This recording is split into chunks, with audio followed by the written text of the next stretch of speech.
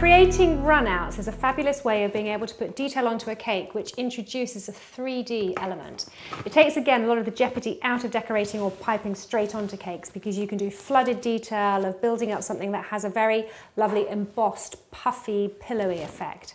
In association with Bake-O-Glide, I've brought out this non-stick icing sheet, which is lovely because you can reuse it, wipes clean, and you can see through it. So the idea is that when you have a, a decoration that you want to create as a 3D effect of a, a run out, you can place the Bake-O-Glide sheet straight over the top of the picture.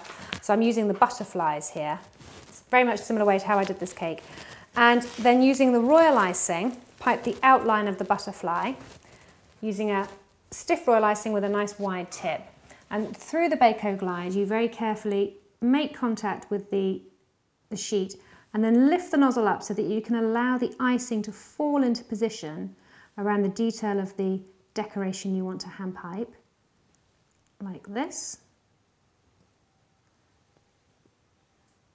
And the reason we use the Bake-O-Glide is so that these details can set firm and then peel them off the next day. Now I've thinned this royal icing down with a little bit of water to make it more of a running consistency snip the end off the bag. So there's no nozzle in here. They're just into a straightforward disposable piping bag.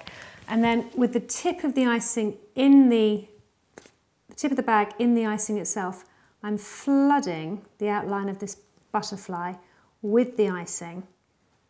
And then with our paintbrushes, which are all sable, sable hair, so they're very, very fine and lovely to use. Use the paintbrush to gently push the icing into the corners of the, the outline of what you've, you've hand piped.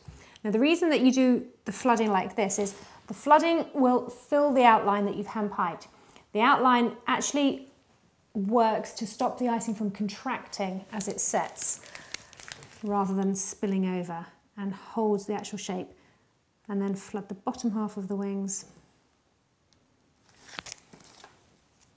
So these butterflies will take overnight to set um, they're great for creating monograms, lettering, detail work. So if there's a specific detail on a wedding invitation that you want to recreate as an icing effect, this is a lovely way to be able to do it.